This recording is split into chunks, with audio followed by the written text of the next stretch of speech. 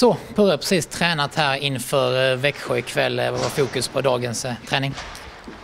Framförallt så här på morgonen få igång kroppar och vara redo till kvällen. Eh, göra det som behövs för att, för att kunna maxprestera.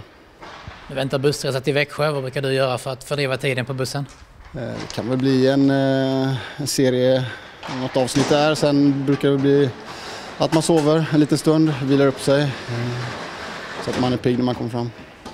För att studsa tillbaka ikväll då, eh, vad behöver Frölunda lägga fokus på allra mest? Framförallt så behöver vi eh, komma tillbaks till eh, att vi vill föra matcherna. Vi vill ta kommandot, vara framåtlutade och senast här tycker jag vi tänker lite för mycket.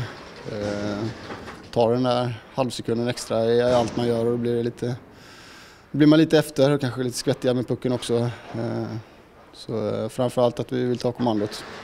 Vad talar för att eh, det ska ske ikväll mot Växjö?